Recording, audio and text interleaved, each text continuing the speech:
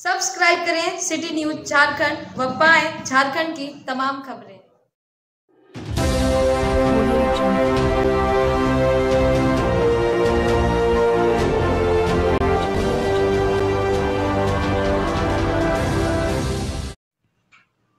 अनुमंडल पुलिस पदाधिकारी सुरजीत कुमार के नेतृत्व में पलामू पुलिस ने भारी मात्रा में अवैध शराब जब्त की है।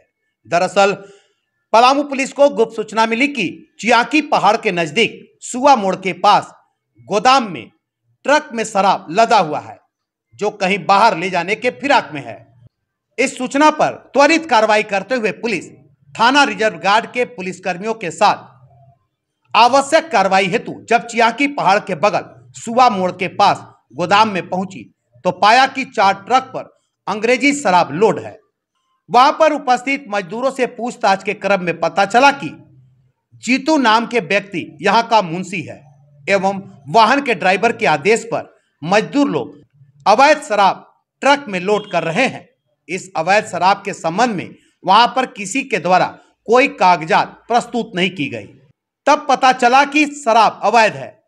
जो शराब तस्कर इस शराब की खेप को पंजाब एवं दूसरे राज्यों से मंगाकर चियाकी गोदाम में भंडारण किए थे। एवं इस भंडारण किए गए शराब को बिहार एवं अन्य राज्यों में सप्लाई करने की योजना थी। तस्करों के द्वारा इतनी भारी मात्रा में शराब की तस्करी की जा रही थी, जिसकी अनुमानित मूल्य करीब तीस लाख से अधिक की है, जिसे शराब तस्कर बेचकर अवैध कमाई करने के फिराक में थे। मौके पर पुलिस ने ट्रक एवं अवैध शराब को जब्त कर लिया। इस संबंध में सदर थाने में मामले भी दर्ज किए गए। इस छापेमारी के दौरान सभी शराब तस्कर एवं वाहन चालक फरार हो गए। छापेमारी दल में अनुमंडल पुलिस पदाधिकारी सुरजीत कुमार, पुलिस निरीक्षक राज बल्लभ पासवान, पुलिस अवर निरीक्षक कमलेश कुमार थाना प्रभारी सदर, पुलिस अवर निरीक्षक राकेश कुमार सदर थाना, पुलिस अवर निरीक्षक सुबोध कुमार सदर थाना, पुलिस अवर निरीक्षक समाल अहमद सदर थाना सहित कई पुलिस के जवान शामिल थे। कल सीजर हुआ था।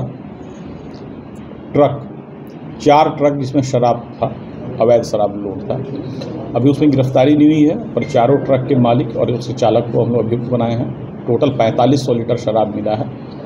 हो सकता है संभावना कि ये जो है नकली शराब हो, जिससे आप देख रहे हैं कि बिहार में कई घटनाएँ हुई हैं। तो इस दृष्टि से भी इसके पहले भी हम लोग नवा बाज़ार में ट्रक में पकड़े थे। इस बार चार ट्रक में हम लोग शराब पकड़े हैं तो कुल मिलाकर यह भी बड़ी महत्वपूर्ण उपलब्धि है सदर थाना क्षेत्र में।